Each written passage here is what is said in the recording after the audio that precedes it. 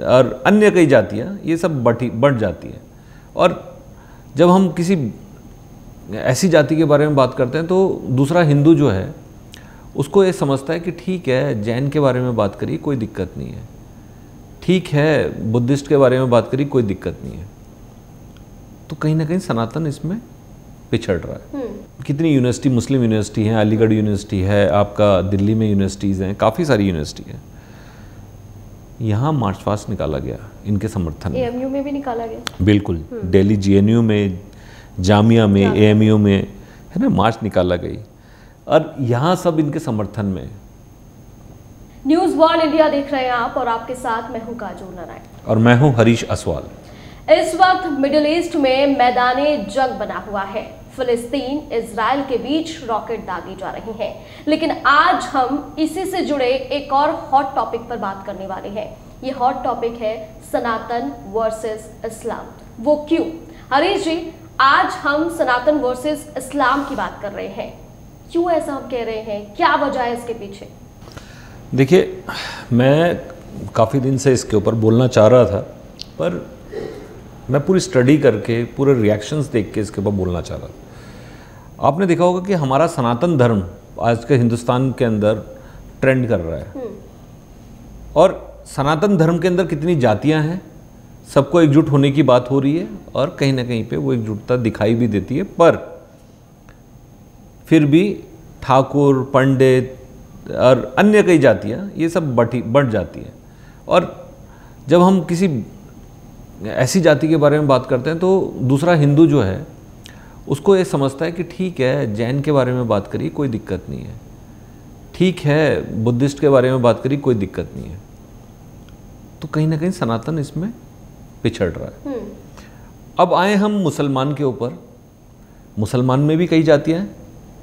जिस प्रकार से आप जातियाँ थोड़ी सी आप बता देंगी तो मेरे को याद कम होता है उनका। अगर मुसलमानों की मैं बात करूँ, अगर भारतीय मुसलमानों की मैं बात करूँ, और बाहर बहुत सारे ऐसे मुस्लिम कंट्रीज़ हैं जहाँ पर ये चीज़ें देखी गई हैं। तीन जातीय समूह में बांटा गया है, गौर से सुनिएगा। अशराफ, अजलाफ और अर्जाल इन्हें कहा जाता है। ये जातियों के समूह हैं, जिसके अंदर जातियाँ शामिल हैं। जैसा कि सनातन में होता है, हिंदू में होता है। ब्राह्मण, क्षत्रिय, वैश्य, शूद्र वर्ण होते हैं, वैसे ही ये तीनों हैं। अब इनको डिटेल में थोड़ा सा और समझा देती हूँ। अशराफ में सैयद शेख पठान, मिर्ज़ा मुगल जैसी उच्च जातियाँ आती हैं। मुस्लिम समाज की जातियों की तुलना हिंदुओं की उच्च जातियों से की जाती है। दूसरा वर्ग जो है, वो अजलाफ है। इसमें बीच की जातियाँ आती हैं, जिसमें खासतौर पर अंसारी, मंसूरी, राइन कुरैशी जैसी जातियाँ शामिल हैं। तीसरा जो वर्ग आता है अजाल इसमें हलाल खोर, हवारी रज्जाक जैसी जातियाँ शामिल हैं। ये वो लोग हैं जैसे कि हिंदुओं में अनुसूचित जाति के लोगों को कहा जाता है। यानी कि जहाँ एक तरफ़ सनातन में जातियाँ बटी हुई हैं वैसे मुसलमानों में भी सिर्फ़ तीन समूह बटे हुए हैं। लेकिन बात यहाँ इसकी नहीं हो रही है। बात यहाँ हो रही है कि उसके बावजूद भी अगर जब किसी मुस्लिम को चोट आती है तो उफ अब मैं वही- वही- पूरे दुनिया से वही मैं वही वही समझाने की कोशिश कर रहा हूँ कि इनका जो कवर है ना हम्म, जैसे हिंदुओं का कवर होना चाहिए था एक सनातन। इनका कवर क्या है? मुसलमान। ये दुनिया में कहीं पे भी हो किसी भी जाति को हो उच्च जाति हो नीच जाति हो वट एवर जो भी इनकी जातियाँ ये अपने आप में डिफाइन कर रखी है इन लोगों ने और मैं इंटरेस्टेड भी नहीं हूँ उस- उसके अंदर घुसने में। पर आउटकम इनका है मुसलमान। मुसलमान को कहीं पीड़ा होती है तो पूरी दुनिया के मुसलमान एक हो जाते हैं। मुसलमान को किसी को पीड़ा दे रहा है तब भी मुसलमान एक है। तो ये सबसे बड़ी चिंता का विषय है। ये हिंदुओं को समझना पड़ेगा और हिंदुओं को इनसे सीखना पड़ेगा। ये सीखने की ज़रूरत है। बोलते हैं ना कभी आपको अपने दुश्मन से भी सीखना चाहिए कभी आपको अपने मित्र से भी सीखना चाहिए। तो ये सीखने की चीज़ है। पॉजिटिव एनर्जी जो है ना ये पॉजिटिव है कि एकजुटता कैसे एकता कैसे लाई जाती है ये इनसे सीखने की ज़रूरत है। हम लोग मंदिरों में अंकुश लगाते हैं या किसी हिंदुओं में कई जगह ऐसी जगह जहाँ शेड्यूल कास्ट को बोलते हैं ये मंदिर में नहीं जा सकता। पर आपने मुसलमान को देखा शुक्रवार की नमाज़ सब साथ में पढ़ते हैं। वो किसी भी जाति का हो सब साथ में नमाज़ पढ़ते हैं। ये सीखने की चीज़ है। अब इसी तरह से मैं बात करूँ कि हम इसको क्यों हम इस टॉपिक को लेके आए। इसमें हमने फ़िलिस्तीन के ऊपर हमने बात करी इसराइल के ऊपर बात करी। हमारे देश के अंदर आज चुनावी माहौल है। चुनावी माहौल में एक तरफ़ हम जब बात करते हैं कि हमारे देश के मुसलमान जब हम हिंदू एकजुटता की बात करते हैं तो मुसलमान बोलते हैं कि आप हमारे को लेके नहीं चल रहे ठीक है? और हमको दबाया जा रहा है या इस प्रकार से कई जगह या कई कई पार्टियाँ ऐसी हैं जो इस तरह की बातें करती हैं। जिसमें से कांग्रेस है एआईएम है महबूबा मुफ्ती की पार्टी है सीताराम येचुरी लेफ़्ट से हैं। इन लोगों के बयान आप सुन के आश्चर्यचकित रह जाएँगे कि ये किस प्रकार से सिर्फ़ इनको वोट की राजनीति करने के चक्कर में ये देश को भूल जाते हैं। इन्होंने देश को इस तरह से दरकिनार कराया है कि इनको आपको मणिपुर का कांड नज़र आता है जहाँ इनको अपनी सरकार को घिरना है। मैं बोलता हूँ वो निंदनीय है। किसी भी महिला के साथ दुनिया की किसी भी महिला के साथ अगर इस तरह के कोई भी दुष्कर्म होता है वो निंदनीय है और नहीं होना चाहिए। आपने मणिपुर को तो कर दिया कि मणिपुर में सरकार को घिरना था तो आपने कह दिया कि मणिपुर में ऐसा ऐसा हुआ। पर जब इसराइल में ये काम होता है तो आप किसके सपोर्ट में खड़े होते हो? फिलिस्तीन। फिलिस्तीन के सपोर्ट में। तो आपने फिलिस्तीन को सपोर्ट किया मतलब वहाँ महिला महिला नहीं थी यहाँ महिला महिला है आप अपनी वसुदेव कुटुंब की जो बात होती है वसुदेव कुटुंब जो है एक्चुअल मायने में मुसलमानों ने अपना लिया है। इनका वसुदेव कुटुंब जो है मुसलमान कहीं का भी हो हमारे एक कुटुंब का है। और हिंदू इस चीज़ को भूल गए जिनका ये मेन था। तो ये अब मैं इनके इनकी सीडब्ल्यूसी की मीटिंग हुई तो मैं कहीं बयान इनके आगे पीछे ना हो जाए इसलिए मैं लिख के लाया हूँ। कांग्रेस के फिलिस्तीन के समर्थन हमास की समर्थन ही कहा जाएगा। बिल्कुल। है ना? आपने देखा होगा।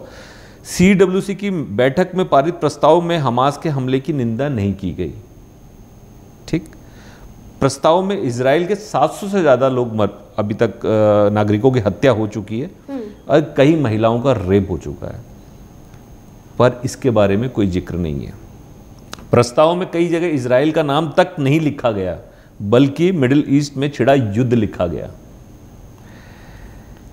फिलिस्तीन के नाम पर बल्कि लिखा गया कि सीडब्ल्यूसी वालों ने लिखा है फिलिस्तीन लोगों की ज़मीन शासन आत्मसम्मान एवं गरिमा के साथ जीवन के अधिकारों के लिए लड़ाई है। हम्म। ये इस तरह से इन्होंने दिखाया कि इन्होंने दिखाया कि फिलिस्तीनियों के साथ अत्याचार अत्याचार हो। रहा है। अत्याचार के बाद भी कोई और प्रकाष्ठा हो सकती है वो हो रहा है। हम्म। अत्याचार के बाद भी एक और लिमिट है वो भी पार हो रखी है। ओवीसी साहब का कहना है अत्याचारी इसराइल है पीड़ित कौन है? फिलिस्तीन है। ये ओवीसी साहब है। क्योंकि मुसलमान को दर्द हुआ है ना कहीं? तो वो कुछ भी हो वो आतंकी हो वो पाकिस्तानी हो मतलब पाकिस्तान के इसमें एक एंगल राजनीतिक भी हो जाता राजनीति... है कि मोदी अगर इसराइल हमारा दोस्त है या नहीं नहीं नहीं आप देखिए वो सपोर्ट वो भी ठीक है। ये भूल गए यहाँ पर हिंदुस्तान को भूल गए हाँ, वही चीज़ है ना फिर आप वो ये एकदम भूल गए कि हम तो अभी दो दिन पहले तो हम थे कि हम हम भारत देश भारत देश के नागरिक हैं हम्म। हमें कौन ये ये भूल गए मुसलमान को पीड़ा हुआ देश वे सब भूल गए। इनका सिंपल सा आ गया कि इसराइल जो है वो अत्याचार कर रहा है पीड़ित कौन है? फिलिस्तीन है। जबकि फिलिस्तीन को दुनिया के पिचासी देशों ने उसको कहा है कि आतंकी हमला है। हम्म, जब हमास वहीं से निकला है तो आतंकी हमला है। गाजर पट्टी पे आप लगातार अच्छा अब कांग्रेस की बात करूँ हम्म। कांग्रेस के प्रदेश सचिव राजस्थान के हैं ये और इन्होंने क्या लिखा है? तुम्हारी बहादुरी के किस्से सरेआम करते हैं। हम्म। ये फिलिस्तीन के मुजाहिदों हम तुम्हें सलाम करते हैं। सोचिए कांग्रेस वाले ये फिलिस्तीन के मुजाहिदों को कह रहे हैं कि हम तुम्हें सलाम करते हैं। कि मतलब इनको सिर्फ़ मुसलमान के वोट चाहिए इसलिए आतंकियों को समर्थन देंगे। इसी तरह से सीताराम येचूरी नाम सीताराम हम्म, अकाम सब। और सरकार को कार्रवाई राइट विंग का अग्रेशन बताते हुए ये कहा है कि ये तब हम हमार ने हमला इसलिए किया क्योंकि उनका राइट विंग का एग्रेशन था ये। हम्म। तो ये तो ये चूरी साहब के कहने का हुआ है। अच्छा हमारे कितनी यूनिवर्सिटी मुस्लिम यूनिवर्सिटी हैं अलीगढ़ यूनिवर्सिटी है आपका दिल्ली में यूनिवर्सिटीज़ हैं काफ़ी सारी यूनिवर्सिटी हैं। यहाँ मार्च पास्ट निकाला गया इनके समर्थन में। में भी निकाला गया। बिल्कुल हम्म। दिल्ली जीएनयू में जामिया में एएमयू में है ना मार्च निकाला गई। और यहाँ सब इनके समर्थन में तो मतलब ये सोचिए कि कुछ भी हो मुस्लिम एक है आतंकी हो तो एक आतंकवादी हमला हो तो एक। हम्म, तो हिंदुओं को एक साथ इकट्ठा होकर बोलना चाहिए एक साथ होना चाहिए। तुम्हें भी अपनी यूनिटी दिखानी चाहिए। मैं कभी इस चीज़ मैं तो कभी इस चीज़ पे कभी मैं इसके समर्थन में नहीं रहता था मैं हमेशा एक देश एक उसकी बात करता हूँ और आज भी करता हूँ। पर जहाँ इन्होंने अगर इस तरह का आचरण इनका है तो हिंदुओं को भी अपना आचरण दिखाना चाहिए। मैं ये नहीं बोलता कि लड़ना चाहिए या कुछ करना चाहिए पर एक आचरण आपको दिखाना चाहिए कि हम किसी भी जाति के हों हम हिंदू हैं। ये दिखाना चाहिए। ये ये फ़ायदा जो है ये बाकी लोग उठा रहे हैं कि इनमें एकजुटता नहीं है इसलिए इस तरह की हरकतें हमारे देश के अंदर इस तरह के झंडे उठते हैं और ये इस तरह से आतंकियों को समर्थन मिलता है। हम्म, कई धर्मगुरु भी हैं इसमें। मुस्लिम धर्मगुरु की बात कर रहा हूँ मैं। है ना? मौलाना मौलाना हैं इसमें काफ़ी सारे। बहादुर सिपाही के नाम पे इनको बोला जा रहा है कि ये बहादुर सिपाही हैं। किसी की बहू बेटी की इज़्ज़त लूटना बहादुरी है। किसी के सुबह साढ़े छः बजे सोते हुए लोगों पे हमला कर देना बहादुरी है। ये हमास ने किया है। तो ये बहादुरी की जब बात हुई तो मैं इस पर तब बोलने को आ गया है कि ये कहाँ की बहादुरी है? और हमारे देश के जो इतने बड़े बड़े नेता, ये कहाँ, ये किस चीज़ को सपोर्ट कर रहे हैं? इनको सिर्फ़ वोट चाहिए कुछ भी सपोर्ट करेंगे। लेकिन सवाल ये है कि आप रहते यहाँ हैं खाते यहाँ हैं पहनते यहाँ का है यहाँ की फिजा में आप सांस लेते हैं तो आप कैसे फिलिस्तीन का समर्थन कर सकते हैं? वो भी उन लोगों का जो लगातार टॉर्चर कर रहे हैं। 2021 में भी ऐसे हालात देखे थे हमने। कुछ। वीडियोस ऐसे हैं जिन्हें देखकर भी रूह काँप जाएगी। वो वीडियोस ना आप देख सकते हैं ना किसी को दिखा सकते हैं। महिलाओं का ज़िक्र कर रहे थे आप। वहाँ की वुमेन एक्टिविस्ट थी। उसको निर्वस्त किया गया उसको ऐसे रस्सियों से बाँध दिया गया उसके हाथ पर फिर पूरा घुमाया गया ये हालात बने हुए हैं ये फिलिस्तीनी कर रहे हैं। बिल्कुल। जो कि नहीं करना है। और रही बात यूनिवर्सिटीज़ की चाहे वो एएमयू हो जामिया हो जेएनयू हो यहाँ से भारत तेरे टुकड़े होंगे। आवाज़ क्यों निकलती है ये हमें सोचना पड़ेगा और हमें जागना पड़ेगा। ये फ्रीडम ऑफ़ स्पीच जो है ना ये फ्रीडम ऑफ़ स्पीच का जो फ़ायदा है ना इनको समझना पड़ेगा इनको समझाना भी पड़ेगा। कि आप आज़ादी का मतलब गलत निकाल रहे हैं। आज़ादी का मतलब ये नहीं कि आपने कुछ बोल दिया तो आपको कोई मतलब आप कोई वो नहीं होगा आप पे एक्शन नहीं होगा। इन पे एक्शन होना चाहिए इस तरह के। ऐसी पार्टियों को भी बैन करना चाहिए जो एक तरह से इनके बयानबाजी से कितना बड़ा दंगा भड़क सकता है। आपने कभी सोचा है? आप मोदी का विरोध करिए ना लेकिन जो गलत है उसका समर्थन आप कैसे कर सकते कैसे कर सकते हैं? बिल्कुल। मोदी का विरोध करिए आप ये राजनीतिक आपके हो सकते हैं पर मोदी का विरोध करते करते आप देश का विरोध कर बैठे हो। आप देश के मतलब इतने लोगों की सोच को आपने परे रख दिया, दुनिया के पिचासी देश एक साथ हैं, वो कह रहे हैं कि आतंकवादी हमला है और आपको वो बिल्कुल सही नज़र आ रहा है। आप उसमें भी ये ढूंढ रहे हैं कि नहीं, वो तो बहुत बेचारे हैं, उन्होंने ऐसा नहीं किया, उन्हें भी अभिव्यक्ति की आज़ादी है, उन्हें जीने का हक है। अरे आप देखिए ना, इतना सा इतना सा वो देश है इतना सा उसमें हमास निकाल दिया आपने मैं को ट्रेनिंग दे दी हथियार दे दिए। अब इसराइल का मैं इसमें थोड़ा सा ज़िक्र करूँ इसराइल वैसे तो वर्ल्ड में अपनी बेस्ट टेक्नोलॉजी को लेके माना जाता है पर कहाँ से इनकी ये फेलियर हो गया इंटेलिजेंस फेलियर इनका हो गया जबकि इंटेलिजेंस इक्विपमेंट्स इनके दुनिया भर में प्रिक्योर किए जाते हैं इधर उधर से।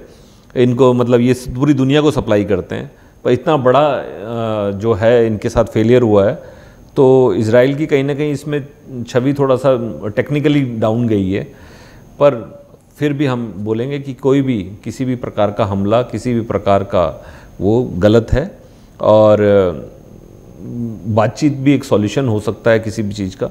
आप पूरी अब एक समझिए कि दुनिया दो दो धड़ों में बट गया है पूरी दुनिया। दो धड़ों में बट रही है और जिसमें अमेरिका ने भी साफ़ साफ़ कहा है कि कोई भी देश उसमें आगे आके फ़िलिस्तीन का सपोर्ट ना करे। ये अमेरिका ने भी कहा और इंडिया ने भी यही कहा है कि हम इसराइल के साथ हैं। और इसमें आने वाले जो देश हैं ना जो समर्थन में देश हैं खाने को पैसा खाने को उनके पास राशन नहीं पहनने को कपड़ा नहीं पाकिस्तान। ठीक है और ऐसे मुस्लिम कंट्रीज़ काफ़ी सारी जो सिर्फ़ धर्म के नाम पे भिड़ने को तैयार रहते हैं। तो बेसिकली इस प्रोग्राम का मतलब इस वीडियो का मतलब यही था कि हमें अब जाग जाना होगा। बिल्कुल। हमें जागना होगा। धर्म के लिए लड़ाई आप दूसरे देश के लिए आपस में अपने ही देश में दंगे भड़काने की कोशिश करें चाहे वो नेता हो चाहे वो लोग हो चाहे वो छात्र हो। हम क्या सीख रहे हैं? अपने आने वाले भविष्य को क्या सिखाने की कोशिश कर रहे हैं? ये हमें समझना होगा। एकता बहुत ज़्यादा ज़रूरी है। मैं ये नहीं कह रही कि कोई भी धर्म गलत है या हम उसके खिलाफ हैं। लेकिन हम उन सोच के खिलाफ हैं जो ऐसी सोच रखते हैं आतंकियों का समर्थन आतंकी कोई भी हो सकता है उसकी कोई धर्म जाति कोई जाति नहीं होती। पर फिर भी ऐसे आतंकियों को समर्थन करना मतलब आपके आपके व्यक्तित्व को दिखाता है कि आप भी कहीं ना कहीं ऐसी मानसिकता रखते हैं। हम्म। वीडियो आपको कैसा लगा? कमेंट करके ज़रूर बताएँ। और आप किसके समर्थन में हैं? और आप सनातन को लेकर या इस्लाम को लेकर क्या सोचते हैं? कमेंट करके ज़रूर बताएँ ताकि हम समझ सके कि हाँ हमारा मैसेज जो है वो सही तरीके से आप लोगों तक पहुँच पा रहा है या नहीं।